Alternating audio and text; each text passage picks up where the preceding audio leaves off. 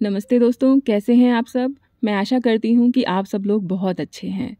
दोस्तों, आज मैं आपके साथ अपना इवनिंग क्लीनिंग का रूटीन शेयर कर रही हूँ, जो कि बहुत ही कॉमन है, लेकिन कुछ चीज़ें मैंने अपनी लाइफ में जब से अपनाई हैं, बहुत सारे चेंजेस मैंने पॉजिटिव चेंजेस देखे हैं, और वही सारी चीज़ें मैं आपके साथ शेयर भी करना चाहती हूँ।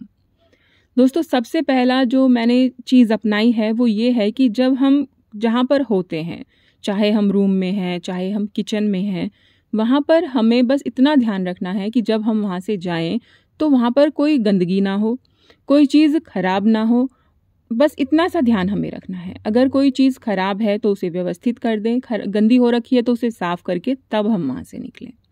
आप देखिएगा कि ये काम ना, ये इतना ज़्यादा काम करती है ये चीज़ कि आपका घर एकदम साफ़ रहने लगता है। और आप खुद भी यकीन नहीं कर पाओगे कि आप कैसे अपने घर को साफ़ कर लेते हैं। बस अगर एक ये छोटा सा नियम है कि जब आप जहाँ से जाएँ, वहाँ से सारी चीज़ों को व्यवस्थित करके और साफ़ करके निकलें तो आपका घर हमेशा साफ़ सुथरा बना रहेगा। मेरा तो यही रूटीन जब से मैंने फॉलो किया है, बहुत ज़्यादा चेंजेस घर में आए हैं और बिल्कुल शांति से सारे काम मैं कर भी पाती हूँ। और मैं प्रयास ये करती रहती हूँ कि जब जब मुझे थोड़ा समय मिले क्योंकि मैं किसी काम को जल्दबाजी में या हड़बड़ी में बिल्कुल नहीं करना पसंद करती हूँ। तो मुझे लगता है कि जब जब मुझे समय मिल रहा है तो मैं अपने काम को तसल्ली से करूँ और बेहतर तरीके से करूँ। तो यहाँ पर मैंने बर्तनों को भी धो दिया है। किचन में किचन में सारा काम हो चुका था। डिनर की तैयारी भी हो चुकी है। जो बर्तन गंदे थे वो भी धुल गए हैं। और अब मेरा किचन तो बिल्कुल क्लीन है। अब मैं जाऊँगी रूम में तो रूम की हालत भी बच्चे जैसे पढ़ते रहते हैं एग्ज़ाम चल रहे हैं तो कुछ वो भी ऐसी ही रहती है। तो जब मैं किचन की भी क्लीन कर रही हूँ ना तो उसमें भी अपनी टैप वगैरह सब कुछ अच्छे से साफ़ कर देती हूँ। चलिए आपको रूम दिखाती हूँ। तो रूम में जब बच्चे पढ़ते हैं तो मैं बिल्कुल भी प्रेशर नहीं डाल रही हूँ बच्चों पर क्योंकि उनके एग्ज़ाम है भाई तुम बस पढ़ाई करो। तो सारी चीज़ें देख रहे हैं आप कि कैसे अस्त व्यस्त हो ही जाती हैं।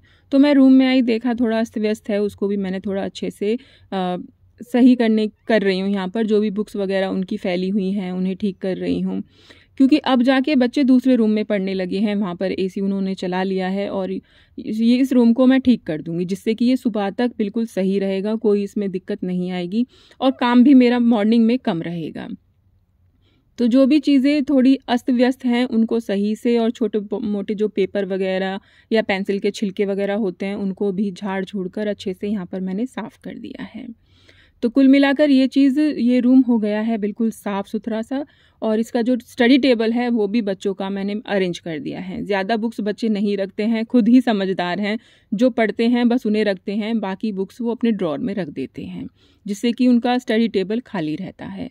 तो यहाँ पर मैंने इसको बिल्कुल सही से व्यवस्थित कर दिया है, झाड़ दिया है। अब बारी आ रही है बेड की। देखिए दोस्तों, जब बच्चे पढ़ेंगे तो चीज़ें तो ख़राब होंगी ही और हम उनके ऊपर बिल्कुल भी प्रेशर नहीं डाल सकते हैं कि तुम ख़राब क्यों कर रहे हो। क्योंकि कोई भी अगर बैठेगा या कहीं पर कुछ काम कर रहा है तो चीज़ें तो ख़राब होनी है। हमें अपने बच्चों को फ्री छोड़ना है पढ़ने के लिए, उनके माइंड को डेवलप करने के लिए। उन पर हमें किसी भी तरह का प्रेशर नहीं डालना चाहिए। मेरा पर्सनल ये मानना है। इस बारे में आपका क्या ख्याल है? क्या चीज़ें बच्चों को हम सिखा सकते हैं? वो सारी चीज़ें मुझे बताइएगा। देखिए, जैसे पानी की बॉटल वगैरह सब बच्चों ने यहाँ पर रख दी हैं, उनकी की चेन वगैरह।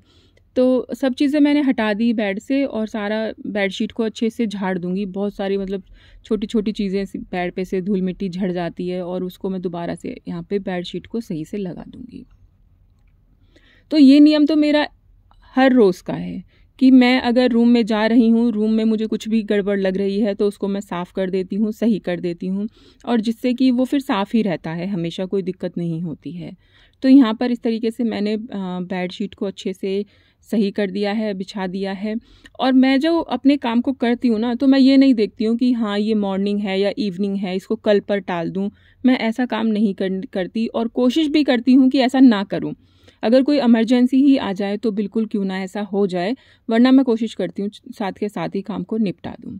तो कुशन वगैरह पिलो लगा लगा दिए हैं बेड पर मैंने और मेरा जो ये बेड है स्टडी टेबल बच्चों का हो गया है बिल्कुल व्यवस्थित क्योंकि साफ़ सुथरे घर में, पढ़ाई में भी मन लगता है और कहीं पर गंदे एरिया में बच्चों को बिठा दीजिए तो उनका मन बिल्कुल भी पढ़ाई में नहीं लगेगा क्योंकि हमारे ध्यान बार बार उन्हीं चीज़ों पर जाता है। तो इस टाइम पे थोड़ी सी डस्टिंग भी मैंने कर दी है रूम की, क्योंकि थोड़ा सा धूल आ गई थी विंडो दिन में खोल ली थी बच्चों ने तो इस टाइम पे मैंने थोड़ी सी जो मुझे धूल मिट्टी लगी कि थोड़ा सा गंदा हो रहा है तो वो भी मैंने साथ के साथ ही यहाँ पर साफ़ कर दिया। जो भी सामान रखा हुआ था सबको हटा हटा कर यहाँ पर अच्छे से क्लीन कर दिया है। दोस्तों, अगर आपको वीडियो पसंद आ रही है वीडियो अच्छी लगती है तो वीडियो को लाइक ज़रूर कीजिएगा। और चैनल को सब्सक्राइब कीजिएगा। ये जो बुक शेल्फ मैंने बनवाई है, यहाँ पर बच्चों की बुक्स रखी रहती हैं और इसको बीच बीच में साफ़ करना बहुत ज़रूरी है क्योंकि किताबों को हम विद्या माता बोलते हैं, विद्या देवी बोलते हैं। अगर इन पर धूल चढ़ रही है तो फिर कैसे ध्यान लगेगा ना पढ़ाई में? तो पूरा प्रयास रहता है कि साफ़ करती रहूँ और बिल्कुल भी धूल मिट्टी इन चीज़ों पर ना चढ़े। तो डस्टिंग मेरी अब हो गई है ऑलमोस्ट कंप्लीट और इवनिंग का मेरा सारा काम ख़त्म हो गया है। अब बस बस मुझे ना खाना बनाना है। खाने में सब्ज़ी वगैरह मैंने बना ली है और बस रोटियाँ सेक दूँगी गर्मा गर्म और सब लोगों का डिनर हो जाएगा। तो यहाँ पर खाना भी, खाने की भी तैयारी मैंने टाइम से ही कर ली है और सारी मेरी जो क्लीनिंग का भी, जो इवनिंग का काम है, वो भी हो गया है। तो दोस्तों, कुल मिलाकर सारी वीडियो आप इवनिंग के सारे काम, जो मेरा क्लीनिंग का रूटीन है, वो आपके साथ मैंने शेयर कर दिया है। आपको कैसा लगा? आप क्या रूटीन फॉलो करते हैं? ये मुझे कमेंट करके ज़रूर बताइएगा। और अगर आपको वीडियो पसंद आती है तो वीडियो को लाइक भी कीजिएगा और चैनल को सब्सक्राइब कीजिएगा। तो इवनिंग का काम ऐसा ही मेरा चलता है। आपका कैसा चलता है? ज़रूर बताइएगा।